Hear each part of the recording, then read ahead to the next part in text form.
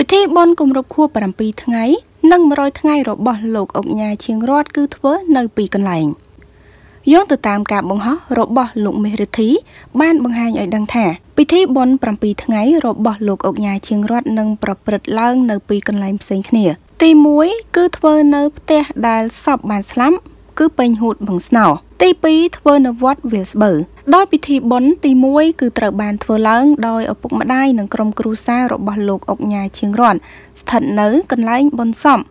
នៅបុរីពេញហួតបឹងស្នោហើយឯទី2គឺធ្វើនៅវត្តវាលស្បូវដែលស្រីអូនគឺជាអ្នកធ្វើឡើង ហើយអ្វីដែលគួរឲ្យចាប់អារម្មណ៍ទៀតនោះលោកមេរិទ្ធីបានសរសេររៀបរាប់ថាប្លែកទៀតហើយគ្រួសារសពធ្វើបុណ្យនៅកន្លែងសពស្លាប់ពេញហួតបឹងស្នោស្អែកនេះតែស្រីអូន ឯនោះវិញឃើញសម្បត្តិប៉ុនមុននេះបន្តិចធ្វើប៉ុននៅវត្តវាលស្បូវដែរតើមួយណាទំនងជាងសូមមហាជនពិចារណាតែតាមរដ្ឋធម្មនុញ្ញពលរដ្ឋខ្មែរគ្រប់រូបមានសិទ្ធិធ្វើបុណ្យតាមទំនៀមទម្លាប់ប្រពៃណី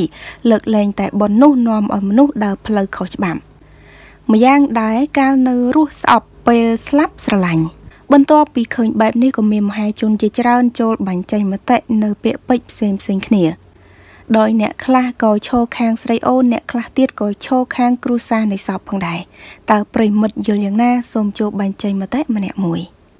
អរគុណច្រើនប្រិមិត្តទាំងអស់គ្នាតេតងនឹងព័ត៌មាននេះដែរក៏សូមបញ្ចប់តែត្រឹមនេះសូមអរគុណសូមគោរពលា